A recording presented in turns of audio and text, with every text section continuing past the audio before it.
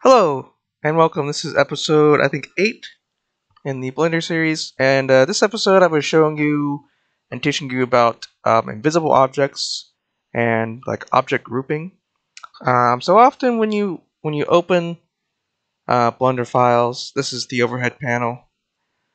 Um, you often see kind of if you look in the collection over here, you'll see this and then a drop down menu of all the objects associated with it. All this is doing, this is this what this is called an empty object. So this is, this is an empty object. You can add those in. Go to add, and you go down to empty. You can add any kind of empty object.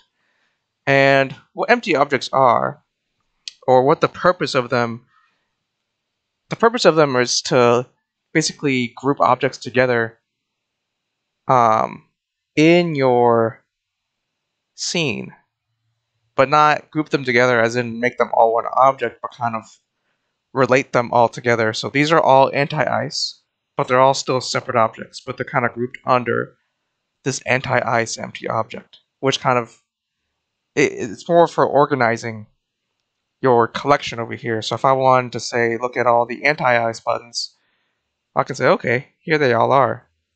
You know, it is kind of, instead of having all your objects kind of laid out, you can organize them. That's all this is doing.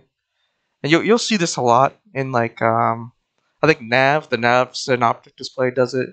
I think the CDU display does it. Some other displays do it.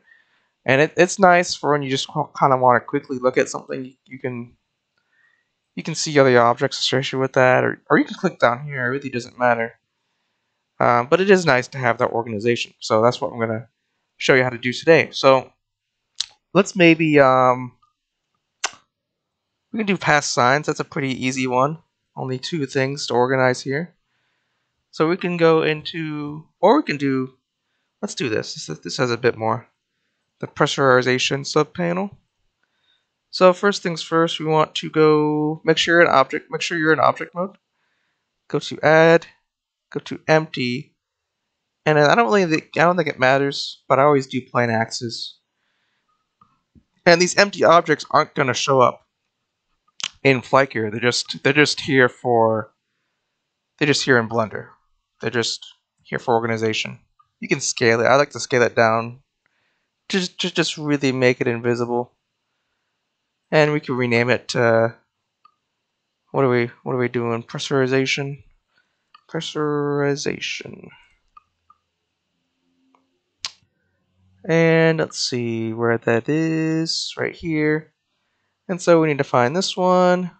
On animate on one.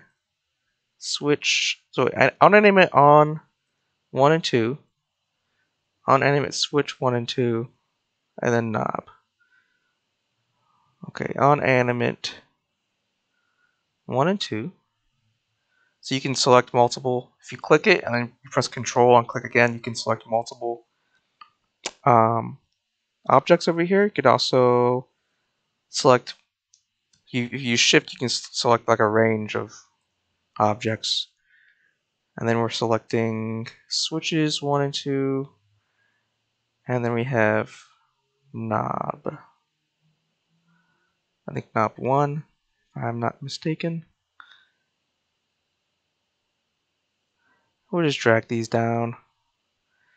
And then you want to push, uh, hold on shift, and it says drop to set parent, and then you let go. And here you go. Type. Oh, it's knob 6. Okay, so I messed up. So if you accidentally put an object in here that doesn't belong, you can select it, drag it, and then uh, you press shift, and then uh, left bracket, alt, and then let go of the mouse. And there you go. So I can do that again for you. Let me, if I accidentally drag this in here,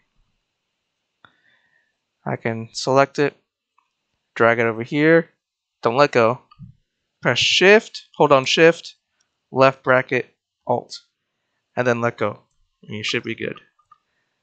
Um, so we're looking for what knob six. Let just drag. Whoops. Drag this down. Press shift. And there you go. That's that's nice. It really compresses stuff. And let's say I want to look all the uh, look at all the pressurization stuff. I can. Oh, okay, look. That's all the pressurization knobs and switches. I think another reason for empty objects is that uh, animators. It's easy for animators to. Um, you can also if you, if you scale this object, I believe that it'll also scale all the other objects. Um, but if you scale an individual object under the object group, it won't affect all the others. So I think from an anim animator uh, standpoint, if you want to animate everything at once, or transition everything at once, or rotate everything at once, you want to you want to have empty objects. Um, yeah, but we won't be doing any of that. That's just a little fun fact for you. Um, but yeah, that's it.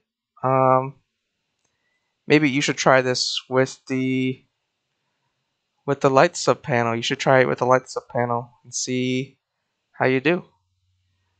Um, yeah, this is it. I'll see you in the next video.